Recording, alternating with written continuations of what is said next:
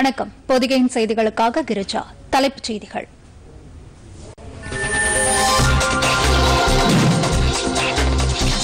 corona தொற்றை முறியடிப்பதில் உலக நாடுகள் ஒருங்கிணைந்து செயல்பட வேண்டும் அணிசேரா நாடுகளின் தலைவர்கள் கூட்டத்தில் பிரதமர் நரேந்திர மோடி வலியுறுத்தல்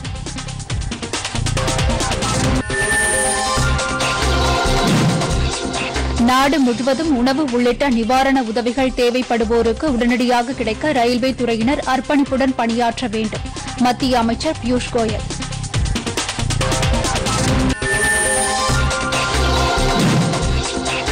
இந்தியாவில் கொரோனா தொற்றுக்கு பின் குணமடைவோர் விகிதம் இருபத்தி ஏழு புள்ளி ஐந்து இரண்டு சதவீதமாக அதிகரிப்பு மத்திய சுகாதாரத்துறை தகவல்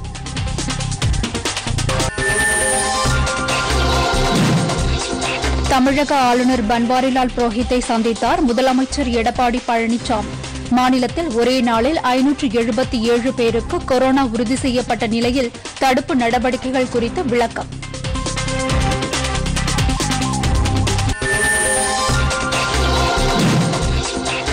தமிழகத்தில் டாஸ்மாக் கடைகள் நாளை மறுநாள் திறப்பு காலை பத்து மணி முதல் மாலை ஐந்து மணி வரை செயல்பட மாநில அரசு அனுமதி பார்களுக்கு அனுமதி இல்லை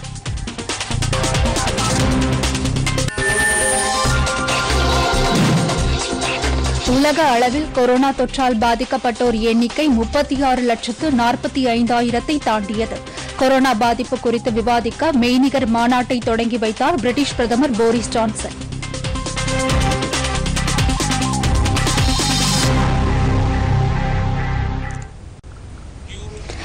விரிவான செய்திகள்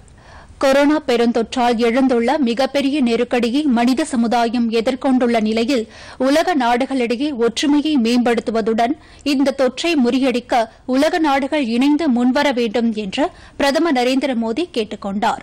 புதுதில்லியிலிருந்து நேற்று காணொலி காட்சி மூலம் அணிசீரா நாடுகளின் தலைவர்கள் கூட்டத்தில் உரையாற்றுகையில் அவர் இவ்வாறு குறிப்பிட்டார் அணிசீரா நாடுகளின் அமைப்பின் தற்போதைய தலைவராக உள்ள அஜர்பைஜான் அதிபர் லிஹாம் அலியேவ் தலைமையில் இந்த கூட்டம் நடைபெற்றது இதில் பேசிய பிரதமர் நரேந்திர மோடி உலக நாடுகளின் ஒற்றுமை என்பது அவசியம் என்றும் இதனை எதிர்த்து போராடுவதில் அணிசீரா நாடுகள் பங்களிப்பை தர முடியும் என்றும் கூறினாா் சமத்துவம் மனிதாபிமானம் ஆகியவற்றின் அடிப்படையில் கொரோனாவுக்கு பிந்தைய உலக நாடுகளின் நிலை புதிய உருமாற்றத்தை அடைய வேண்டிய அவசியம் ஏற்பட்டுள்ளதையும் பிரதமர் தமது உரையில் சுட்டிக்காட்டினார் இந்த நெருக்கடியான சூழலில் இந்தியா தனது ஜனநாயகம் மற்றும் ஒழுக்கத்தை பின்பற்றி உறுதியான முடிவுகளை எடுத்துள்ளது என்றும் நேர்மையான மக்கள் இயக்கத்தை உருவாக்கி தொற்றை முறியடித்து வருவதாகவும் அவர் குறிப்பிட்டாா் சொந்த நாட்டு மக்களை பதப்பதுடன் ஒட்டுமொத்த உலகமும் உரைக்கும் என்ற அடிப்படையில் இந்திய நாகரீகத்தை வெளிப்படுத்தி வருவதாக பிரதமர் பெருமிதம் தெரிவித்தார் மேலும் பிற நாடுகளுக்கும் இந்தியா உதவிகளை வழங்கி வருவதாக அவர் கூறினார் குறைந்த விலையிலான மருந்துகள் இந்தியாவில் கிடைப்பதால் கொரோனா தொற்று ஏற்பட்டுள்ள தற்போதைய நிலையில் சொந்த நாட்டிற்கு தேவையான மருந்துகளை பயன்படுத்துவதுடன் உலக நாடுகளுக்கும் அளித்து வருவதாக பிரதமர் தமது உரையில் கூறினார் உலகமே கொரோனாவுக்கு எதிராக போராடிக் கொண்டிருக்கும் நிலையில் சில நாடுகள் மிக கொடிய வைரஸாக திகழும் பயங்கரவாதத்தை பரப்புவதிலும் நாடுகளுக்கு இடையே பிரிவினையை ஏற்படுத்துவதிலும் செயலாற்றி வருவதாக பிரதமர் கூறினாா்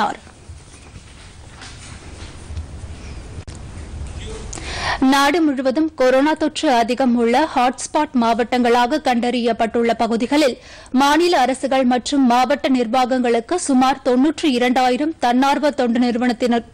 நிறுவனத்தினரும் அரசு அதிகாரிகளும் உதவ வேண்டும் என்று மத்திய அரசு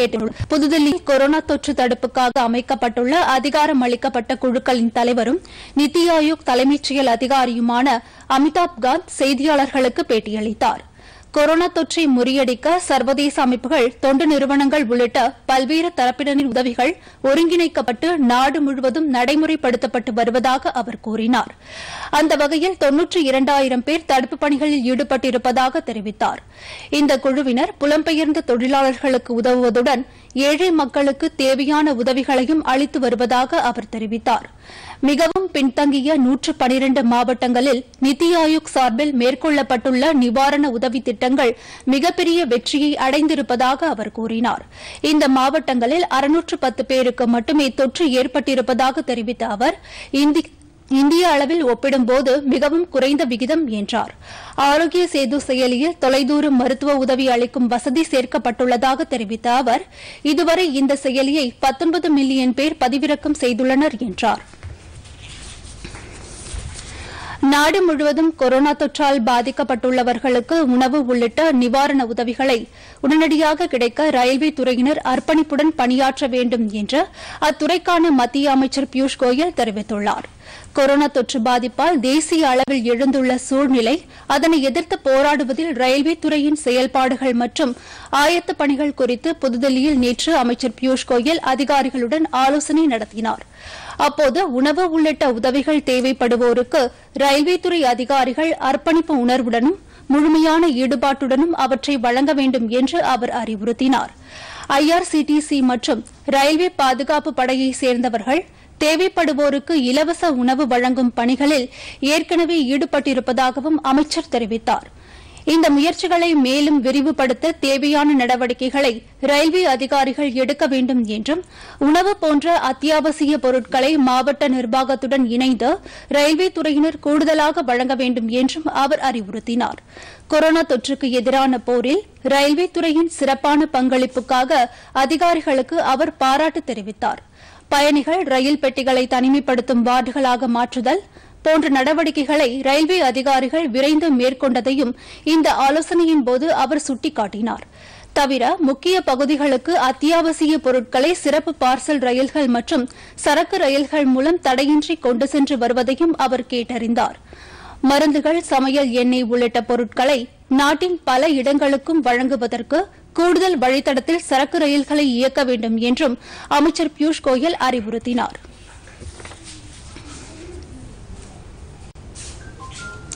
கொரோனா தொற்று நெருக்கடியை எதிர்கொள்ள ஏதுவாக ஒருங்கிணைந்த நடவடிக்கைகளை மேற்கொள்ள வேண்டும் என்று மத்திய உணவு பதப்படுத்துதல் தொழில்கள் துறை அமைச்சர் அஷ்சிம்ரத் கௌர்பாதல் தெரிவித்துள்ளார் காய்கறிகள் அழுகி போதல் பதப்படுத்தப்பட்ட பால் பொருட்கள் பாதிப்பு போன்ற ஊரடங்கு காலத்தில் இந்த தொழில்துறையில் எழுந்துள்ள சவால்கள் குறித்து சம்பந்தப்பட்ட துறையினருடன் புதுதில்லியில் அவர் நேற்று ஆலோசனை நடத்தினாா் கொரோனா தொற்று காலத்தில் உணவு பதப்படுத்துதல் தொழிலில் ஈடுபட்டுள்ளவர்கள் ஒருங்கிணைந்த சங்கிலி தொடரை உருவாக்க வேண்டியது அவசியம் என்று வலியுறுத்தினார்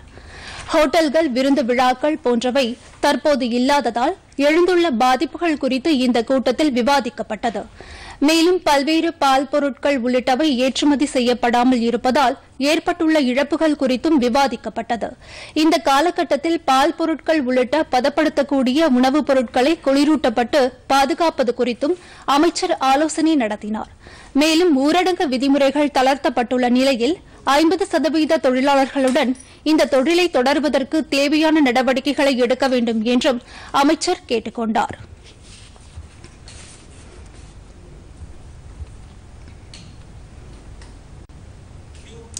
மத்திய பணியாளர் தேர்வு ஆணையமான யுபிஎஸ்சி நடத்தும் சிவில் சர்வீசஸ் முதல்நிலை தேர்வுகள் கொரோனா தொற்று காரணமாக ஒத்திவைக்கப்பட்டுள்ளன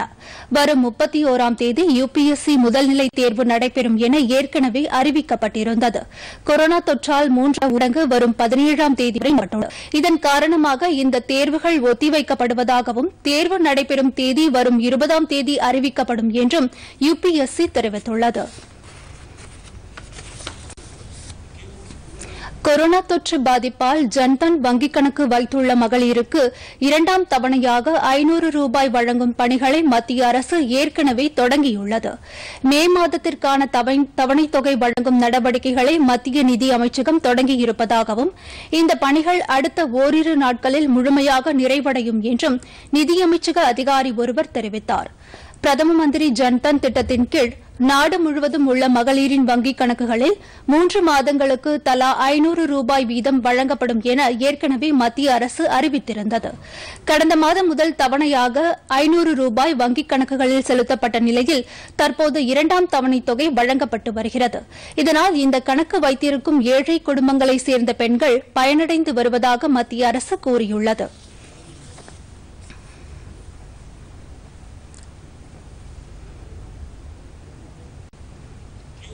தமிழக முதலமைச்சர் எடப்பாடி பழனிசாமி ஆளுநர் பன்வாரிலால் புரோஹித்தை நேற்று கிண்டியில் உள்ள அவரது மாளிகையில் சந்தித்து ஆலோசனை நடத்தினார் இந்த சந்திப்பின்போது தமிழகத்தில் கோவிட் தடுப்பு நடவடிக்கைகள் குறித்து ஆளுநரிடம் முதலமைச்சர் எடுத்துரைத்ததாக அரசு வட்டாரங்கள் தெரிவிக்கின்றன மூன்றாம் கட்ட ஊரடங்கு மற்றும் கட்டுப்பாடுகள் தளர்வு நேற்று முதல் அமலுக்கு வந்துள்ள நிலையில் மாநிலத்தில் கொரோனா தொற்றை தடுக்க தொடர்ந்து அரசு எடுத்து வரும் நடவடிக்கைகளை ஆளுநரிடம் முதலமைச்சர் எடுத்துரைத்ததாக தெரிகிறது இரண்டாவது முறையாக ஊரடங்கு நீட்டிக்கப்பட்டபோதும் ஆளுநர் பன்வாரிலால் புரோஹித்தை முதலமைச்சர் எடப்பாடி பழனிசாமி சந்தித்து பேசினாா்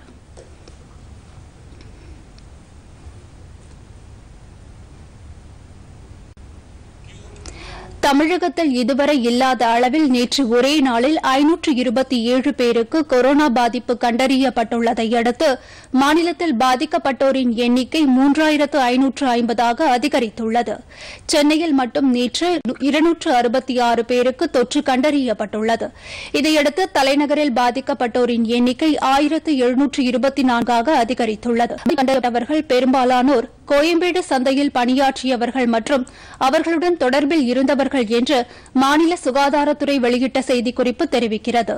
தமிழகத்தில் நேற்று முப்பது பேர் தொற்றிலிருந்து குணமடைந்து வீடு திரும்பியதையடுத்து ஒட்டுமொத்தமாக ஆயிரத்து நானூற்று ஒன்பது பேர் குணமடைந்துள்ளனர் இதுவரை இல்லாத அளவாக நேற்று ஒரே நாளில் பனிரெண்டாயிரத்து எழுநூற்று எழுபத்தி மூன்று பேருக்கு பரிசோதனை மேற்கொள்ளப்பட்டுள்ளது ஒட்டுமொத்தமாக இதுவரை ஒரு லட்சத்து ஐம்பத்து மூன்றாயிரத்து நானூற்று எண்பத்தி ஒன்பது பேருக்கு கொரோனா கொரோனா பரிசோதனை மேற்கொள்ளப்பட்டுள்ளது தமிழகத்தை பொறுத்தவரை நேற்று உயிரிழந்த ஒருவரையும் சேர்த்து மொத்த உயிரிழப்பு முப்பத்தி ஒராக அதிகரித்துள்ளது இதற்கிடையே கோயம்பேடு சந்தையிலிருந்து கொரோனா தொற்று பரவல் அதிகரித்துள்ளதால் இந்த சந்தை இன்று முதல் தற்காலிகமாக மூடப்படுவதாக கோயம்பேடு நிர்வாகக் குழு அறிவித்துள்ளது பூந்தமல்லி அருகே திருமழிசையில் நாளை மறுநாள் முதல் மொத்த காய்கறி விற்பனை நடைபெறும் என்றும் அறிவிக்கப்பட்டுள்ளது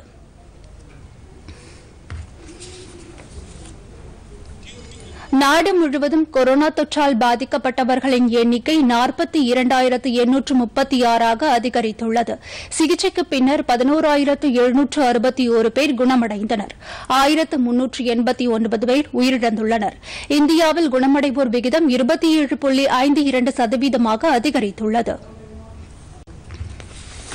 புதுதில்லியில் நேற்று செய்தியாளர்களிடம் பேசிய மத்திய சுகாதாரத்துறை இணைச் செயலாளர் லாவ் அகர்வால் இந்தியாவை பொறுத்தவரை தொற்று பாதிப்புக்கு உள்ளாவோர் எண்ணிக்கை பனிரண்டு நாட்களில் இருமடங்காக உயர்கிறது என்று தெரிவித்தாா் இந்த தொற்றிலிருந்து குணமடைவோர் விகிதம் இருபத்தி ஏழு புள்ளி ஐந்து இரண்டு சதவீதமாக உயர்ந்துள்ளதாகவும் அவர் கூறினார் கடந்த இருபத்தி நான்கு மணி நேரத்தில் மட்டும் தொற்றிலிருந்து ஆயிரத்து எழுபத்தி நான்கு பேர் குணமடைந்திருப்பதாக தெரிவித்த அவர் இது ஒரு நாளில் மிக அதிக எண்ணிக்கை என்றார் பொது இடங்களில் கட்டாயம் முகக்கவசம் அணிய வேண்டும் நோய் கட்டுப்படுத்தப்பட்டுள்ள பகுதிகளில் முன்னெச்சரிக்கை நடவடிக்கைகளை மக்கள் தீவிரமாக கையாள வேண்டும் என்பது உள்ளிட்ட விதிமுறைகளை அறிவித்திருப்பதால் தொற்று பரவல் குறைந்திருப்பதாகவும் லாவ் அகர்வால் தெரிவித்தார் இதற்கிடையே மிக அதிக பாதிப்பை சந்தித்துள்ள மகாராஷ்டிர மாநிலத்தில் பனிரெண்டாயிரத்து தொள்ளாயிரத்து எழுபத்தி நான்கு பேர் பாதிக்கப்பட்டுள்ளனர் ஐநூற்று நாற்பத்தி எட்டு பேர் அங்கு உயிரிழந்துள்ளனா் அடுத்தபடியாக குஜராத்தில் ஐந்தாயிரத்து நானூற்று இருபத்தி எட்டு பேர் பாதிக்கப்பட்டுள்ள நிலையில் ஆயிரத்து நாற்பத்தி இரண்டு பேர் குணமடைந்து வீடு திரும்பியுள்ளனர் இருநூற்று தொன்னூறு பேர் உயிரிழந்துள்ளனர்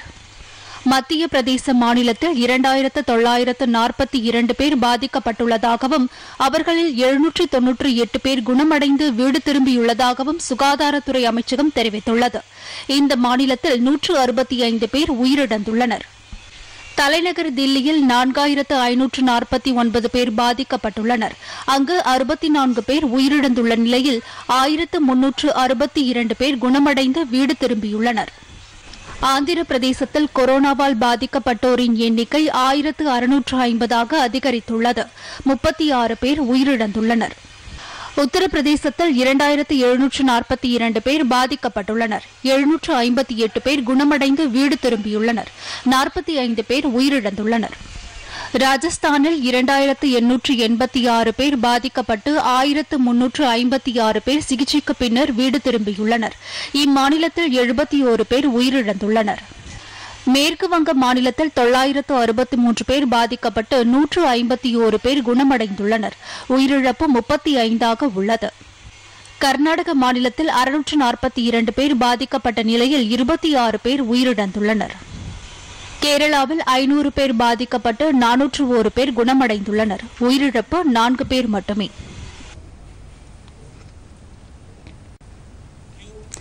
வெளிநாடுகளில் சிக்கி தவிக்கும் இந்தியர்கள் கட்டாயம் தாயகம் திரும்ப விரும்பினால் அவர்களை படிப்படியாக அழைத்து வர அரசு நடவடிக்கை எடுத்து வருவதாக தெரிவிக்கப்பட்டுள்ளது பல்வேறு நாடுகளிலும் இருந்து தாயகம் திரும்ப விரும்பும் தெரிவித்துள்ளோரின் பட்டியலை அந்தந்த நாடுகளில் உள்ள இந்திய தூதரகங்கள் துணை தூதரகங்கள் தயாரித்து இருப்பதாக மத்திய உள்துறை அமைச்சகம் வெளியிட்ட அறிக்கை தெரிவிக்கிறது நாளை மறுநாள் தொடங்கி பல்வேறு நாடுகளிலும் இருந்து இந்தியர்களை படிப்படியாக அழைத்து வருவதற்கான முயற்சிகள் எடுக்கப்படும் என்றும் அதில் தெரிவிக்கப்பட்டுள்ளது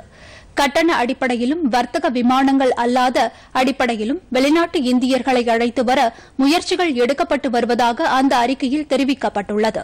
விமானங்கள் மட்டுமல்லாது கடற்படை கப்பல்கள் மூலமும் அழைத்து வர முயற்சிகள் எடுக்கப்பட்டு வருவதுடன் அப்படி வருவோருக்கு மருத்துவ பரிசோதனையும் மேற்கொள்ள திட்டமிடப்பட்டுள்ளது என்றும் தெரிவிக்கப்பட்டுள்ளது அதுபோன்று வரும் இந்தியர்கள் மத்திய சுகாதாரத்துறை மற்றும் சிவில் விமான போக்குவரத்து அமைச்சகத்தின் கட்டுப்பாடுகளை பின்பற்ற வேண்டும் என்றும் உள்துறை அமைச்சகம் வெளியிட்டுள்ள அறிக்கையில் கேட்டுக் கொள்ளப்பட்டுள்ளது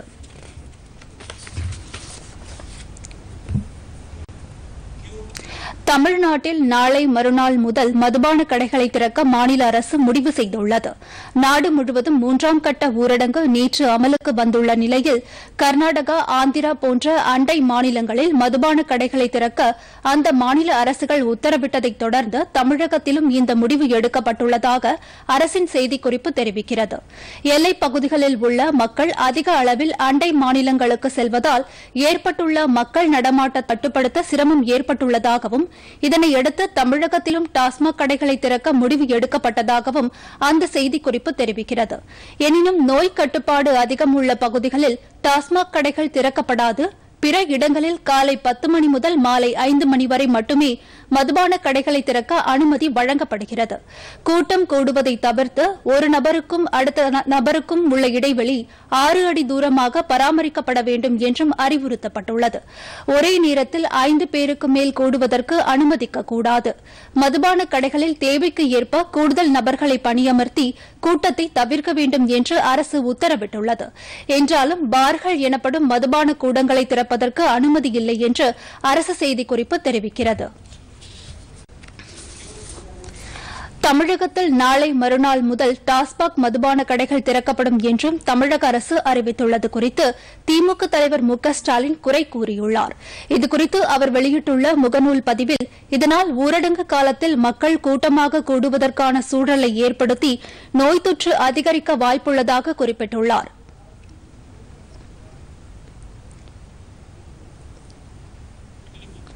இதற்கிடையே அவர் வெளியிட்டுள்ள மற்றொரு அறிக்கையில் ஊரடங்கால் பாதிக்கப்பட்டுள்ள குறு சிறு மற்றும் நடுத்தர நிறுவனங்கள் அதிலிருந்து மீண்டு தொழிலாளர்களுக்கு வேலைவாய்ப்பினை வழங்கும் வகையில் அந்நிறுவன பிரதிநிதிகளின் கோரிக்கைகளை மத்திய மாநில அரசுகள் உடனடியாக நிறைவேற்ற வேண்டும் என்று கூறியுள்ளார்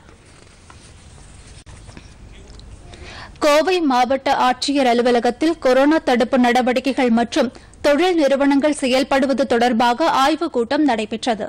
மாநில உள்ளாட்சித்துறை அமைச்சர் எஸ் பி வேலுமணி தலைமையில் நடைபெற்ற இக்கூட்டத்தில் மாவட்ட ஆட்சியர் மாநகராட்சி ஆணையர் காவல்துறை ஆணையர் உள்ளிட்டோர் கலந்து கொண்டனர்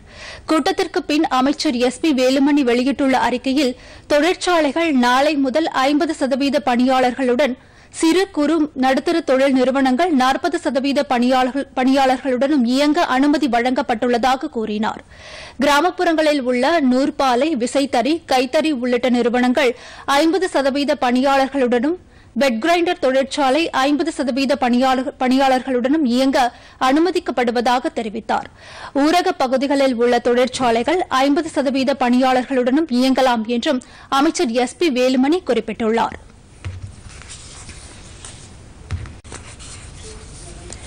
கரூர் மாவட்டத்தில் வர்த்தகர்கள் ஆயத்த ஆடை உற்பத்தியாளர்கள் ஏற்றுமதியாளர்கள் சங்கம் பேருந்து கட்டுமானம் சிறு குறு தொழில் முனைவோர் உள்ளிட்ட அமைப்புகளின் பிரதிநிதிகளின் ஆய்வுக் கூட்டம் நடைபெற்றது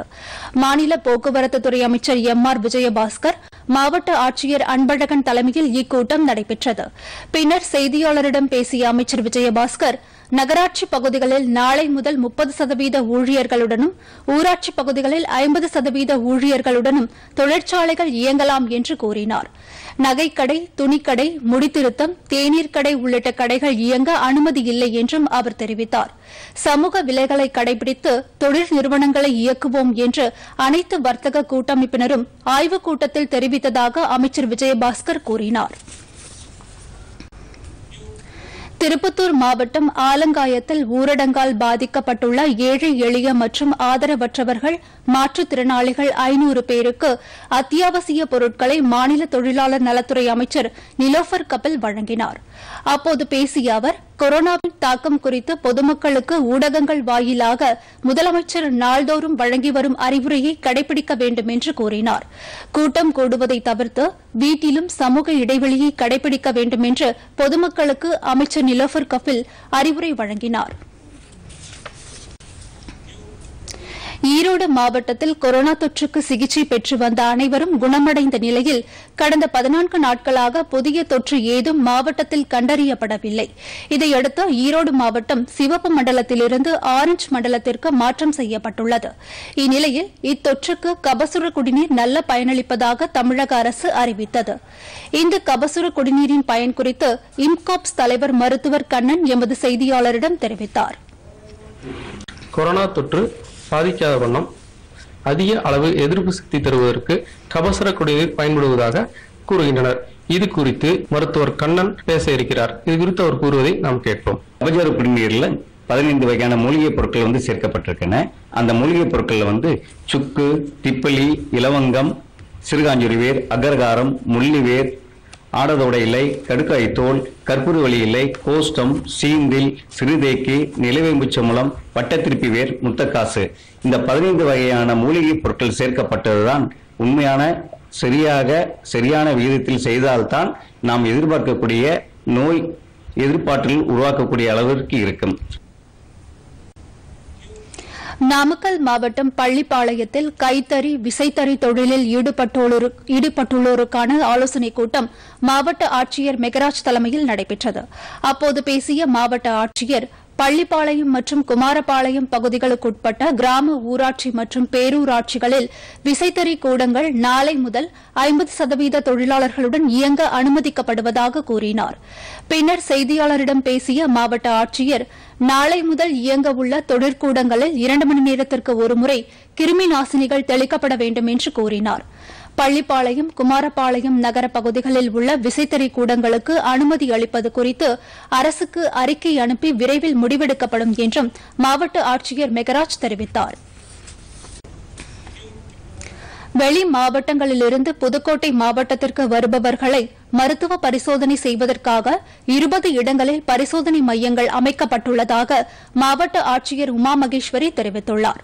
இதுகுறித்து செய்தியாளர்களிடம் பேசிய அவர் சென்னை கோயம்பேட்டிலிருந்து புதுக்கோட்டை மாவட்டத்திற்கு திரும்புவோர் மாவட்ட நிர்வாகத்திற்கு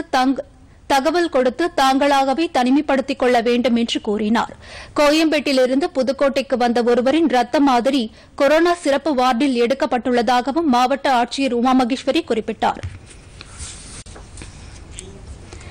நாமக்கல் மாவட்டத்தில் ஊரடங்கு காலத்தில் மகளிர் பயன்பெறும் வகையில் பிரதமரின் உஜ்வாலா திட்டத்தின் கீழ் இலவச சமையல் எரிவாயு சிலிண்டர் அளிக்கப்பட்டுள்ளது இத்திட்டத்தின் கீழ் நாமக்கல் மாவட்டத்தில் நாற்பத்தி ஒன்பதாயிரத்து அறுநூற்று ஐம்பத்தி ஐந்து பேர் பயனடைந்துள்ளனர்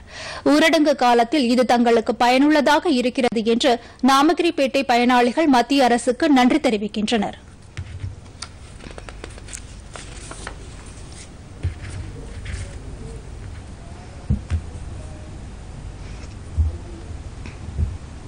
இப்போ இந்த கொரோனா பீரியடில்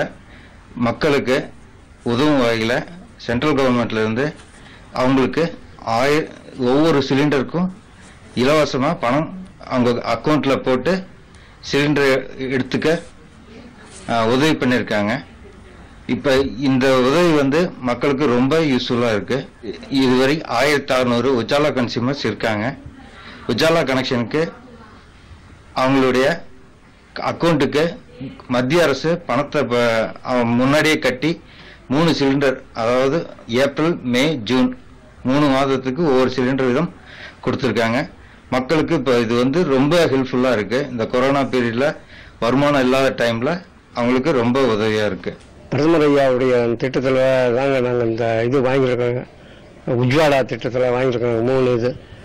முதல் மாதத்துக்கு ஏப்ரல் மாதத்துக்கு போட்டு விட்டாங்க அதை நாங்கள் வாங்கி இது பண்ணி செஞ்சோங்க இன்னும் ரெண்டு மாசத்துல இது பண்ணி போடுவாங்க இந்த கொரோனா சமயத்தில் வேற வேறு வழியும் இல்லைங்க ஐயா வேலை வெட்டியெல்லாம் இல்லைங்க ஐயா இது அவர் கொடுக்குற இந்த இது வந்து எங்களுக்கு ரொம்ப உபயோகமாக இருக்குதுங்க ஐயா இதை பண்ணி செஞ்சுக்கிட்டு இருக்குது அவருடைய இது எங்களுக்கு நல்ல பலனை கொடுக்குதுங்க ஐயா உஜ்வாலா சிலிண்டர் வாங்கி ஒரு வருஷம் ஆகுதுங்க அதை தான் நாங்கள் இப்போ யூஸ் பண்ணிட்டு இப்போ கொரோனா வந்ததுனால இப்போ பிரதமர் பிரதமர் நரேந்திர மோடி ஃப்ரீயாக சிலிண்டர் கொடுத்துருக்காருங்க அதை தான் நாங்கள் இப்போ வாங்கி யூஸ் பண்ணிட்டு இருக்கிறோம் இப்போ ரொம்ப கஷ்டமாக இருக்கிறதுனால அவர் கொடுக்குற சிலிண்டர் ரொம்ப யூஸ்ஃபுல்லாக இருக்கிறதுங்க பிரதமர் நரேந்திர மோடிக்கு நன்றிங்க ராணிப்பேட்டை மாவட்டத்திற்கு சென்னை கோயம்பேட்டிலிருந்து சென்ற மூன்று பேருக்கு நோய் தொற்று உறுதி செய்யப்பட்டுள்ளதாக மாவட்ட ஆட்சியர் திவ்யதர்ஷினி கூறியுள்ளார் இதுகுறித்து செய்தியாளரிடம் பேசிய அவர் அவர்கள் மூவரும் சிகிச்சைக்காக வேலூர் அடுக்கம்பாறை அரசு தலைமை மருத்துவமனைக்கு அனுப்பி வைக்கப்பட்டுள்ளதாக கூறினார் மேலும் ராணிப்பேட்டை மாவட்டத்திலிருந்து சென்னை கோயம்பேடு பகுதிக்கு சென்று வந்த நூற்று பதினான்கு பேர் தனிமைப்படுத்தப்பட்டுள்ளதாக கூறினார் தெலங்கானாவிலிருந்து ராணிப்பேட்டை வந்த பத்து பேர் ஓச்சேரி அருகே தனியார் தனியார் கல்லூரியில் பதினான்கு நாட்கள் தனிமைப்படுத்தப்பட்டுள்ளதாக தெரிவித்தார் இதன் மூலம் ராணிப்பேட்டை மாவட்டத்தில் கொரோனாவால் பாதிக்கப்பட்டோரின் எண்ணிக்கை நாற்பத்தி மூன்றாக அதிகரித்துள்ளது என்றும் அதில் முப்பத்தி நான்கு பேர் குணமடைந்துள்ளனர் என்றும் மாவட்ட ஆட்சியர் திவ்யதர்ஷினி கூறினாா் நாகப்பட்டினம் மாவட்டத்தில் பிரதமர் பயிர் காப்பீட்டு திட்டத்தின் கீழ் விவசாயிகளுக்கு தடை உத்தரவு காலத்திலும் பயிர் காப்பீட்டு தொகை கிடைத்துள்ளது இந்த தொகை தங்களுக்கு விவசாயம் செய்வதற்கு பெரும் உதவியாக இருப்பதாக விவசாயிகள் மத்திய அரசுக்கு நன்றி தெரிவித்துள்ளனா்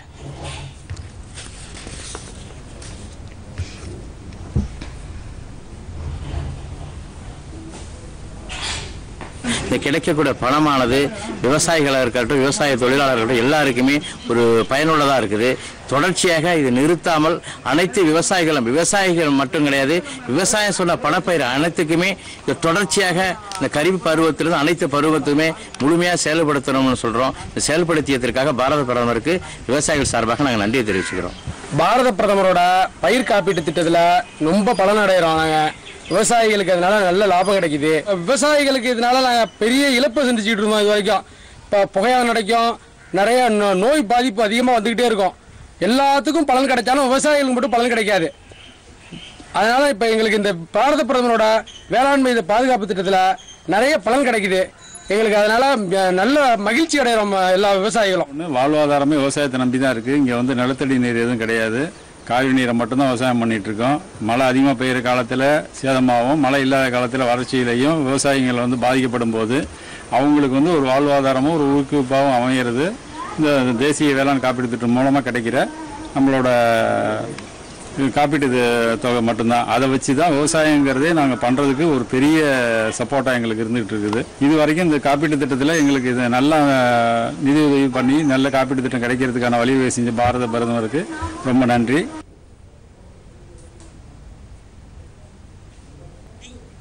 கோவிட் பாதிப்பால் ஏற்பட்டுள்ள சூழல் குறித்து விவாதிக்கும் வகையில் இணையதளம் மூலமான மெய்நிகர் மாநாடு ஒன்றை பிரிட்டிஷ் பிரதமர் போரிஸ் ஜான்சன் நேற்று தொடங்கி வைத்தார் இங்கிலாந்துடன் இணைந்து Canada France Germany Italy Japan Norway Saudi Arabia ஆகிய நாடுகள் இந்த மாநாட்டுக்கு ஏற்பாடு செய்தன இதில் பேசிய போரிஸ் ஜான்சன் கோவிட் சவாலை எதிர்கொள்ள அனைவரும் இணைந்து செயல்பட வேண்டும் என்று கேட்டுக் கொண்டார் பாதிப்பை கட்டுப்படுத்துவது தொடர்பான நடவடிக்கைகள் குறித்த தகவல்களை பகிர்ந்து கொள்ள வேண்டும் என்றும் அவர் அறிவுறுத்தினார் இந்த தொற்று பாதிப்பை கட்டுப்படுத்த இங்கிலாந்து மேற்கொண்டுள்ள நடவடிக்கைகள் சிகிச்சை முறைகள் தடுப்பு மருந்து கண்டுபிடிப்பதற்கான முயற்சிகள் உள்ளிட்டவை குறித்தும் போரிஸ் ஜான்சன் விரிவாக விளக்கினாா்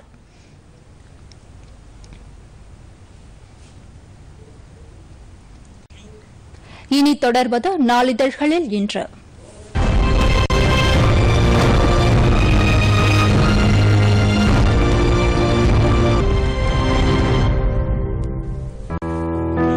தமிழகத்தில் பெட்ரோல் டீசல் விலை உயர்த்தப்பட்டிருப்பதற்கு அரசியல் கட்சிகளின் தலைவர்கள் கண்டனம் தினத்தந்தி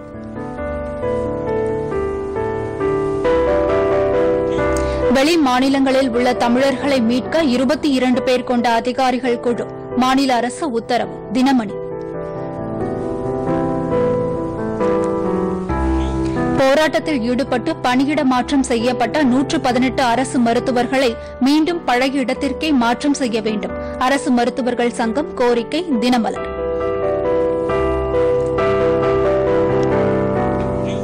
ஆந்திரா கர்நாடக மாநிலங்களில் நேற்று மதுக்கடைகள் திறக்கப்பட்டதால் அந்த மாநிலங்களின் எல்லைகளை ஒட்டியுள்ள தமிழகத்தை சேர்ந்த மக்கள் அங்கு சென்று மது வாங்க குவிந்தனர் தினகரன் வரலாற்றில் முதல் முறையாக மதுரை மீனாட்சியம்மன் கோவிலில் பக்தர்கள் இல்லாமல் நடைபெற்ற திருக்கல்யாணம் இணையதளத்தில் ஒளிபரப்பியதை மக்கள் கண்டு இந்து தமிழ் திசை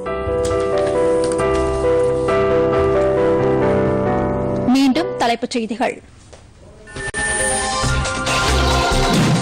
கொரோனா தொற்றை முறியடிப்பதில் உலக நாடுகள் ஒருங்கிணைந்து செயல்பட வேண்டும் அணிசேரா நாடுகளின் தலைவர்கள் கூட்டத்தில் பிரதமர் நரேந்திர மோடி வலியுறுத்தல்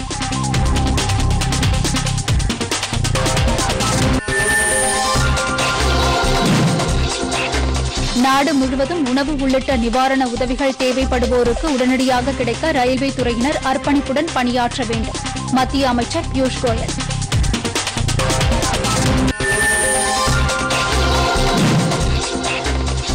இந்தியாவில் கொரோனா தொற்றுக்கு பின் குணமடைவோர் விகிதம் இருபத்தி ஏழு புள்ளி ஐந்து இரண்டு சதவீதமாக அதிகரிப்பு மத்திய சுகாதாரத்துறை தகவல்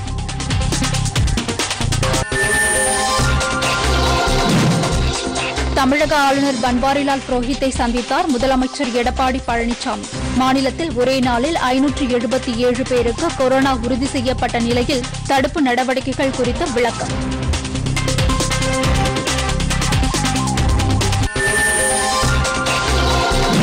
தமிழகத்தில் டாஸ்மாக் கடைகள் நாளை மறுநாள் திறப்பு காலை பத்து மணி முதல் மாலை ஐந்து மணி வரை செயல்பட மாநில அரசு அனுமதி பார்களுக்கு அனுமதி இல்லை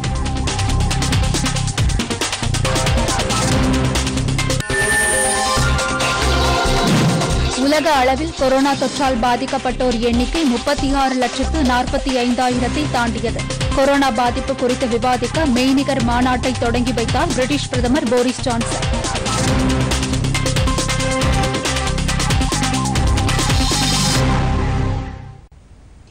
பொதிகை செய்திகளை யூடியூபில் தமிழ் நியூஸ் தூர்தர்ஷன் என்ற சேனலிலும் ட்விட்டரில் Tamil news Doordarshan at DD news Chennai என்ற பக்கத்திலும் காணலாம் இத்துடன் இந்த செய்திகள் நிறைவடைகின்றன மீண்டும் செய்திகள் பதினோரு மணிக்கு வணக்கம்